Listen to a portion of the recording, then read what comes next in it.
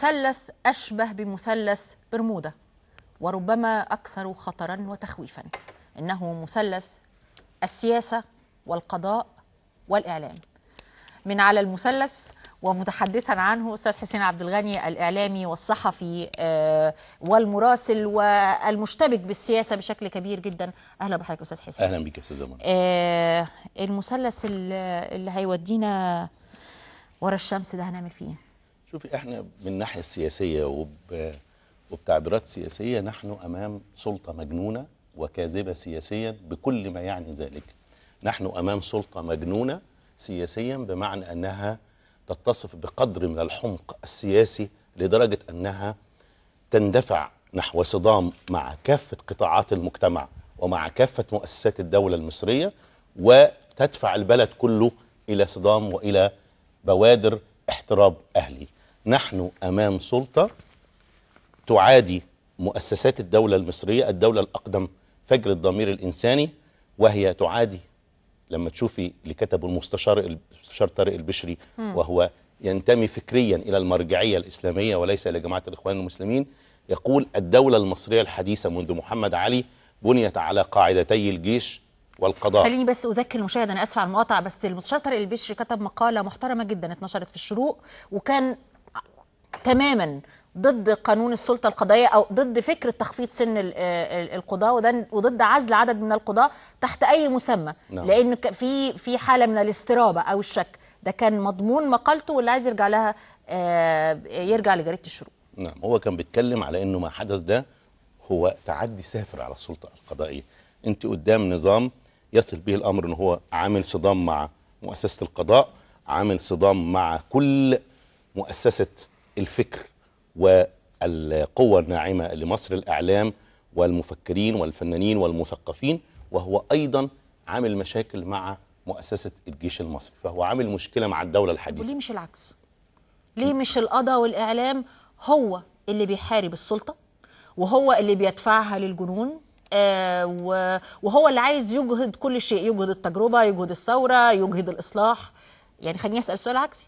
طيب خليني أقول لك بقى بمنتهى الوضوح والصراحة. يعني شوفي أنا سمعت المكالمة اللي جرت بين حضرتك وبين ال- الأستاذ عاصم عبد الماجد وأغلق السماعه وشفت آه كلامه في الفيديو اللي أنتوا زعتوه وهو بيتكلم زي ما عملتوا يوم 25 يناير. الحقيقة دول آخر ناس اتكلموا عن الثورة اللي أنا مستغربه. هم يوم 25 يناير بيتكلموا عنه ده و28 يناير و2 فبراير وكل الكلام ده. دول ما كانوش دول كانوا ضد الخروج على الحاكم. فدول الحقيقة لا يجب أن يفتحوا فمهم نهائيا في موضوع الثورة. حركة الإخوان المسلمين باعترافها عمر وبك- بمنهج ال- الإمام البنا هي حركة إصلاحية معادية لفكرة الثورة. وبالتالي نحن هنا بنتكلم عن حركات كانت ضد الثورة أو حركات إصلاحية عمرها ابدا. أنا يمكن حكيت عندك مرة هنا قلت لك مصيبة هذه الثورة ومصيبة هذا البلد إن قوتين محافظ محافظتين على التوالي مسكوا هذا البلد بعد الثورة. وكان هدفهم الحقيقي هو قتل هذه الثورة. القوة المحافظة الأولى الجنرالات القدامى في المجلس العسكري اللي ما كانش عندهم عقيدة إن دي ثورة اللي حصلت. أوكي؟ الحاجة الثانية القوة الثانية المنظمة اللي تسلمت بدعم من الأمريكيين هم الإخوان المسلمون. وهم أيضا قوة محافظة ترفض التغيير الثوري. أنت بتتكلمي عن اللي عطل الثورة فعلا هم القوتين دول بالتوالي.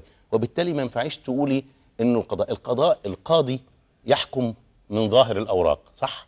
لما تفشل الثورة بسبب الإخوان المسلمين في إنها تعمل قانون مبكر للعدالة الانتقالية. لما الإخوان المسلمين يرفضوا في الميدان يا أستاذة منى أن يكون في محاكم ثورية أو قانون الغدر ارجعي للأستاذ أيمن الصياد وده واحد عمره ما كان على عداء مع هذا التيار. على تخوم العلاقات معهم. رشح وزير الإعلام ودي قصة معروفة. كان مستشار لرئيس الجمهورية. وكان مستشار لرئيس الجمهورية. ده لما نقل في إحدى البرامج التلفزيونية زمان مطلب الميدان بأنه يبقى في قانون للغدر محاكم ثورية تحاكم نظام مبارك وكل الفاسدين بعهده بمحاكم ثورية حقيقية من الذي تصدى له الإخوان المسلمون. وقالوا إيه؟ مش عايزين الإجراءات الاستثنائية. أنت عارفة طبعا أنه في آخر أيام حكومة عصام شرف طلع قانون الغدر ولم يفعل وبالمناسبة قانون الغدر ده كتبه السنهوري باشا.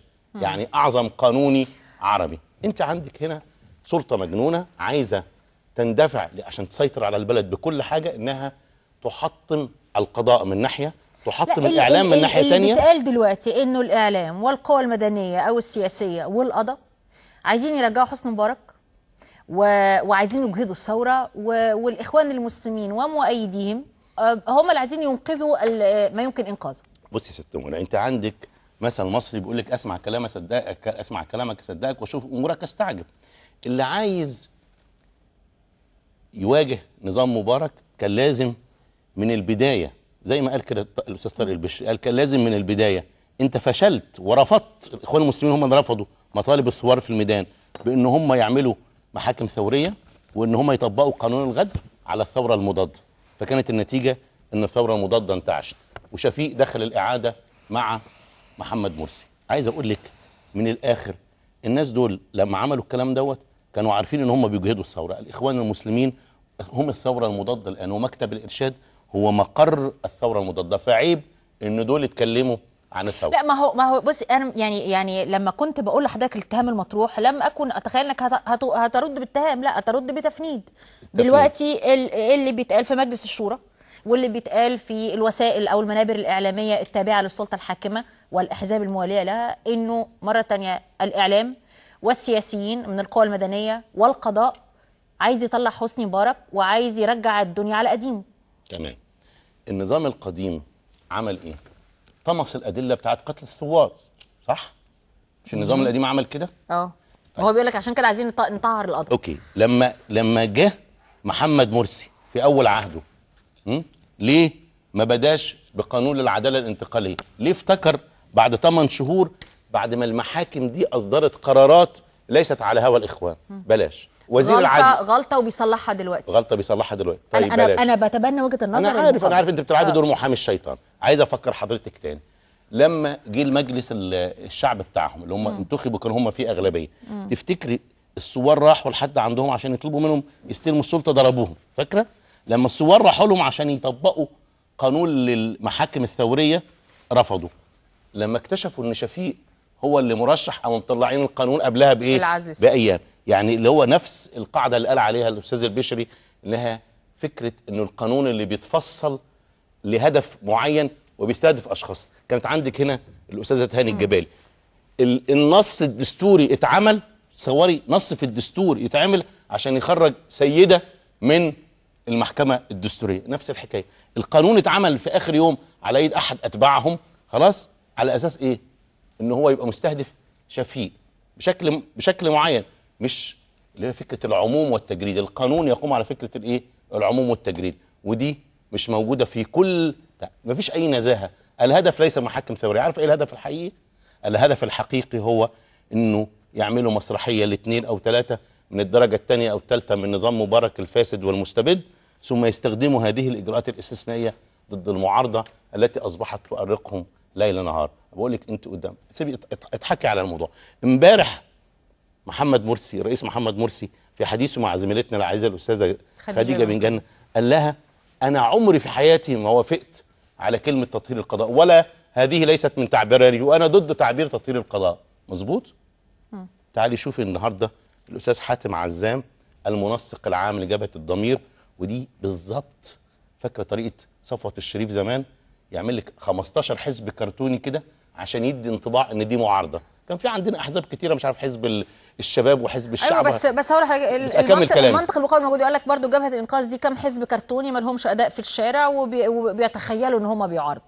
طيب أوكي. أنا بس تمام. أنا عايز أقول لحضرتك بس رد على حضرتك حاجة بسيطة جدا. لما الرئيس مرسي فكر يعمل اجتماعات قبل الإعلان الكارثي بتاعه ده استدعى أربع ناس.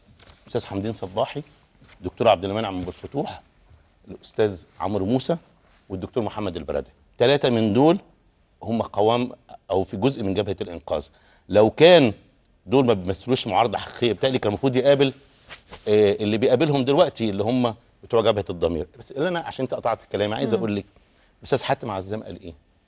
قال الرئيس أكد الرئيس أكد على ضرورة تطهير القضاء. يعني الرئيس في اجتماعين اجتماع مش معلن اكد على ضرورة تطهير القضاء وعلى ضرورة تطبيق قانون للسلطه القضائية اللي عايزين يعملوه عايزين يعملوا مذبحه للقضاء. أنت عارفة أقاموا الدنيا ولم يقعدوها على ما سمي بين قوسين مذبحه القضاء سنة 69 ودي كانوا بيتكلموا فيها عن 43 قاضي.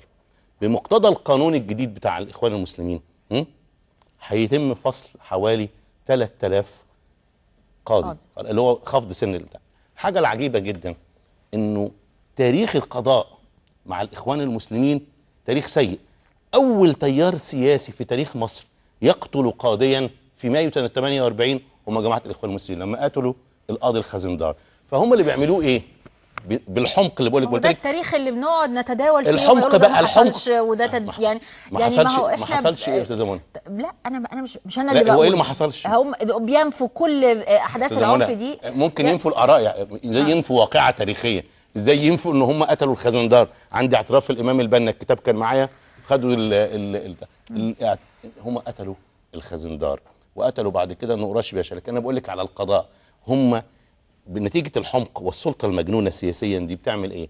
إنها بتعيد لأهل القضاء بصورة واضحة إن هذا التيار لا يمكن ابدا إن هو يكون على آه، علاقة إيجابية مع القضاء. هو عايز يهد مؤسسة القضاء ليه؟ عشان يعمل زي ما عملت تجارب بين قوسين بيسموها تجارب المشروع الإسلامي إنهم يخشوا على القضاء فيهدموا النظام القانوني ويشيلوا القضاة الأجلاء ويحطوا محاميهم ورجال القانون التعبانين بتوعهم بحيث يتحولوا هم إلى القضاة الحقيقيين. ويصبح القضاء بدل ما هي سلطة من سلطات الدولة الثلاثة بتراقب السلطة التنفيذية والتشريعية تتحول لإيه؟ لمطية في إيد السلطة التنفيذية. طيب عند عند الجزئية دي هناخد فاصل ونرجع تاني لرأي أستاذ حسين عبد الغني.